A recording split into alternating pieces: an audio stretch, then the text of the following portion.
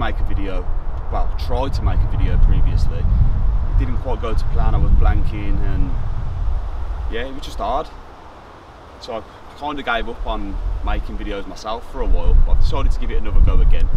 Um, so yeah, today's video. Uh, the original plan was to come out to a stretch of canal I've never fished before and try and show you how I would fish for zander or how I'd find zander on those waters. That kind of didn't go to plan. Um, when I got to the the new water, I realised I fished there before and it just it wasn't very good. I tried for a few lures down there. Just, I just didn't have any confidence in it. And if I'm fishing a water that I've got no confidence in, I just won't waste my time there. I just don't see don't see any point. So I've come to a stretch. I've fished a few times, but it's still relatively new to me. I don't quite know the ins and outs of it yet, as I'd like to.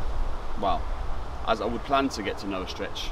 So I'm going to try and do the same thing here. I'm just going to show you a few tips, tricks, you name it, whatever you want to call it, on how to locate zander and then go about catching them. So let's get into it.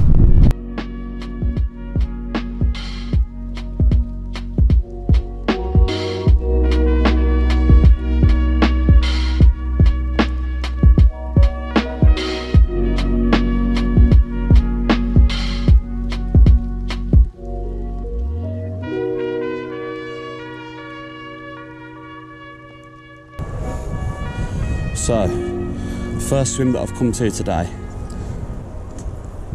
There's a big reed bed on the far bank. And that just screams fish to me. I have fished here, as I said, a couple of times, but I've not done really well against this reed bed. But for me, there's no reason that there shouldn't be a fish here. So I'm just going to work it, work the reed bed quite quickly to see if I can locate any fish.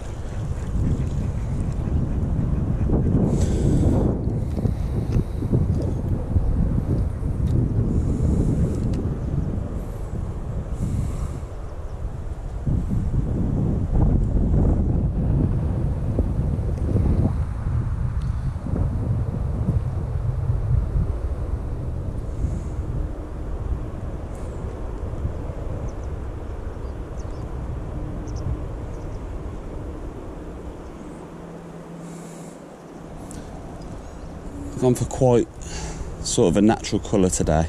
So there's not that much colour in the water compared to a lot of a lot of canals I fish for zander. So I reckon natural is the way to go. Might not be right, but we'll see.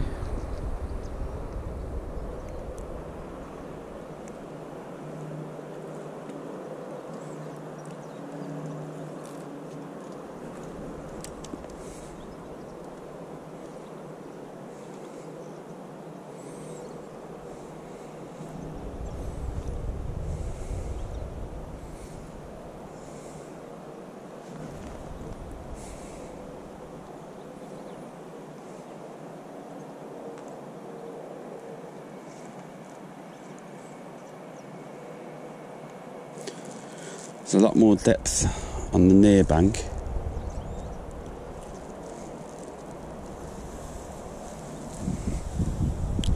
than there is on the far bank.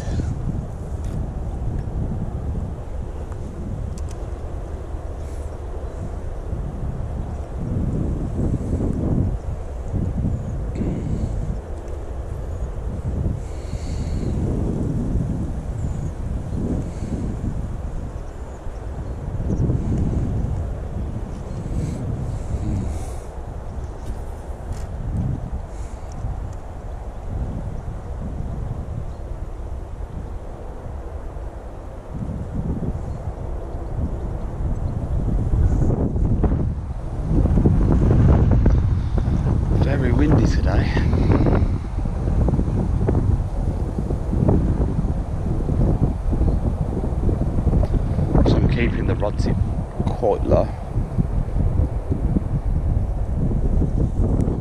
So I can stay in contact with the lure. Just going to have a flick along this near bank because as I said there's a lot of depth there and in the colder months I'd expect to see fish sitting in those deep holes.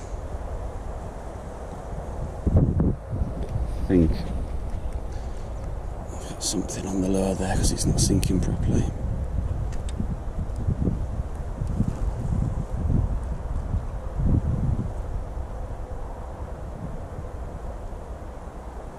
There we go.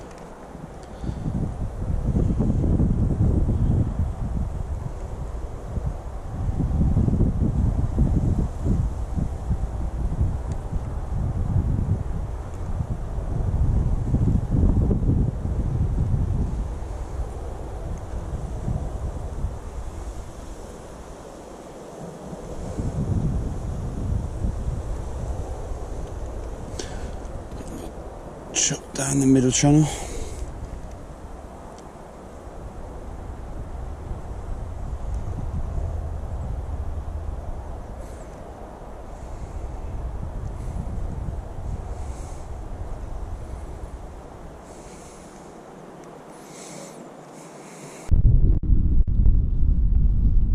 So I've worked the area quite thoroughly and I've not had a tap so I'm going to move on. I'm not going to spend too long in a location where I personally feel there's no fish.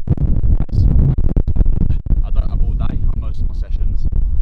So yeah, we're going to move on.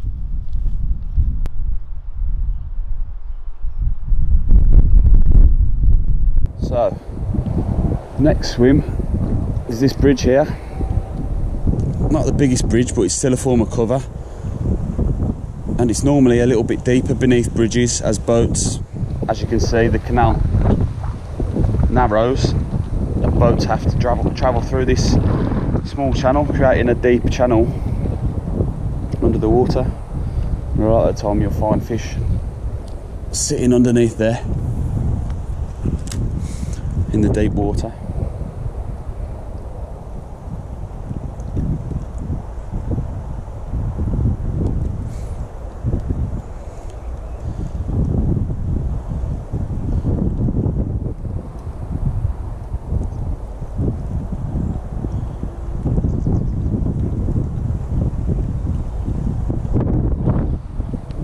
It's very leafy, it's making it really hard to fish.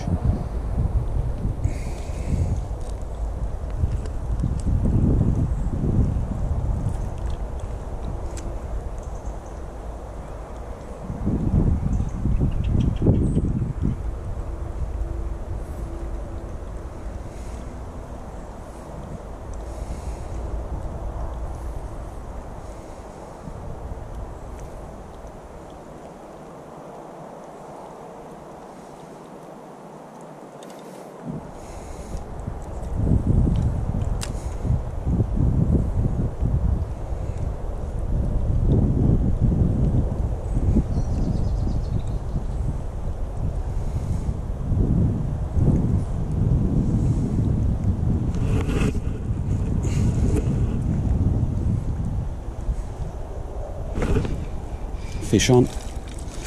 And there we go.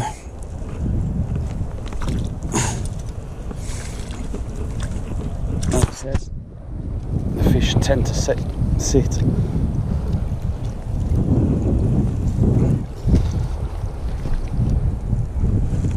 in those deeper channels.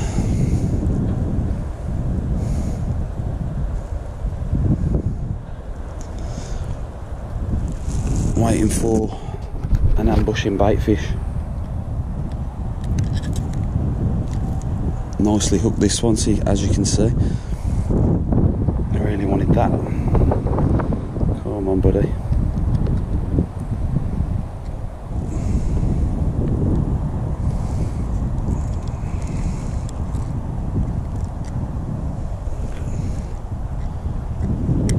There we go. Beautiful Canal Z. Just going to drop him in the net. See if there's any more home.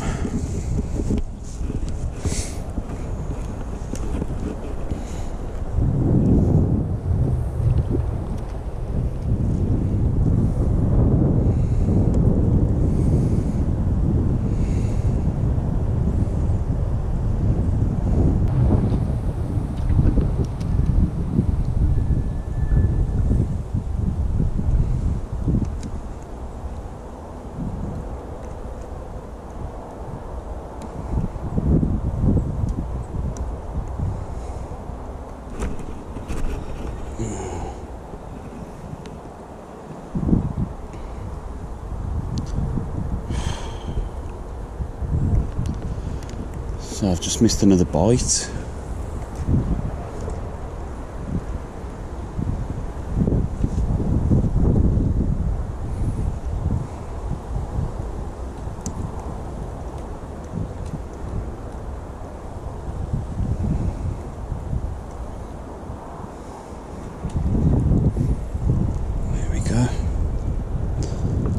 This time, some more perch. As you can see, Zeds and perch do coexist. Nice little stripey. Dropping back.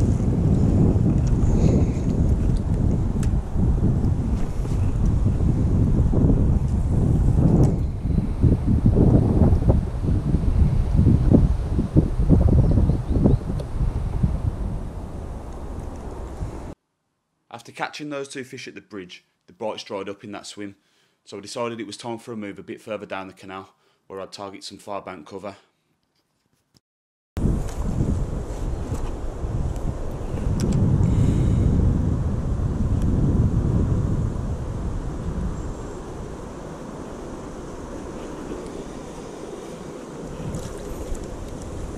There we go.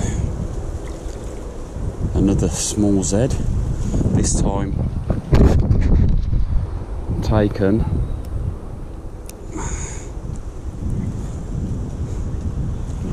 On the near bank. Right. At my feet and away he goes. But yeah it just goes to show the importance of working the near bank. As I mentioned before it's more or less one of the only features for miles of canal in certain areas.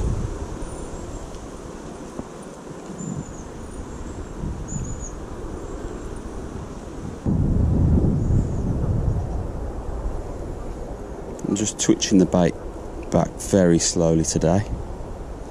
I wouldn't say extremely slowly, but quite slowly, giving the fish a long time to watch that bait fall and hopefully have a go at it.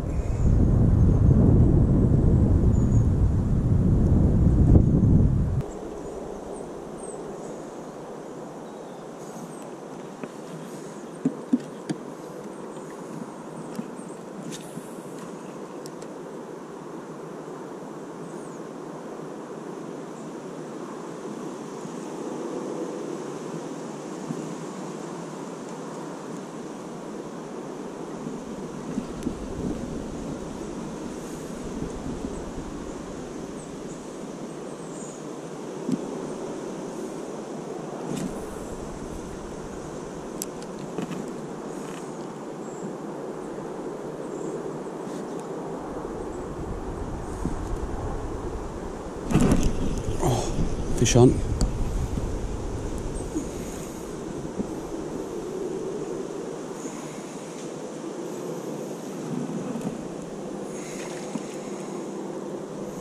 Another Angry Canal Z, a bit bigger than the last one.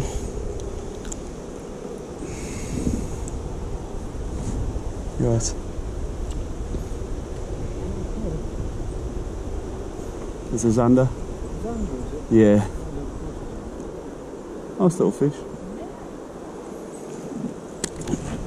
Dropping back. Seem to have landed on a small shoal. I did originally stop here because of that overhanging foliage on the far bank, but there seems to be a few fish.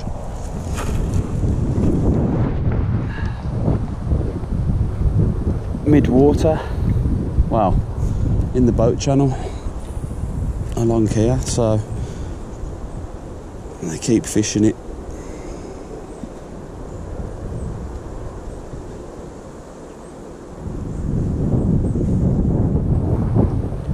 Definitely seem to be feeding quite hard today. That was a savage take, that one.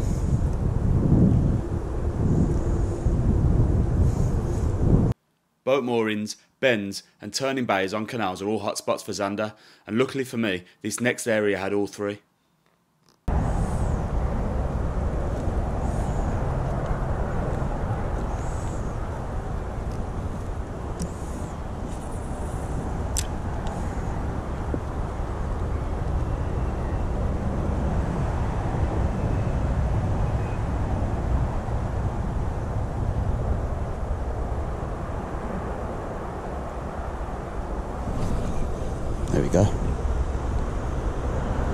Fish on. Another small zander. Very small zander. But I seem to want a straight retrieve now rather than hopping it along the bottom. So what I'm doing, I'll show you in a second, is casting out.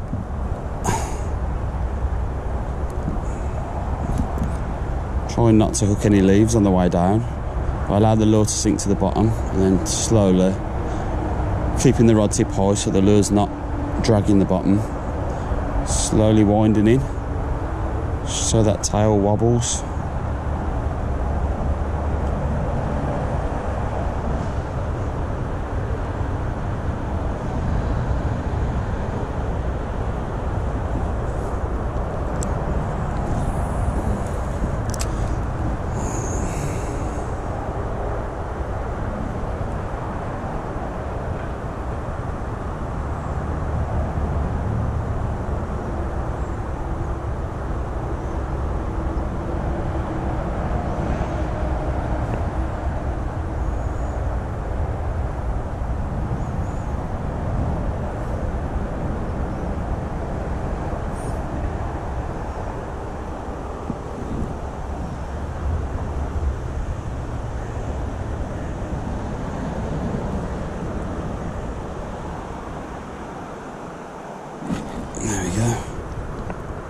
perch this time.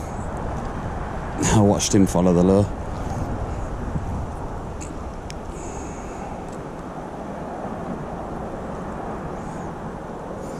Not a big fish, but good fun all the same. So, there you go. Just a short video on how I would go about finding zander on a new water or a water that I fished before. Sometimes it makes no difference they're still as hard to find. So yeah just a short one with a few bits of information that I hope you can use. And yeah hopefully I can get a few more videos up sooner rather than later. Um, yeah until next time goodbye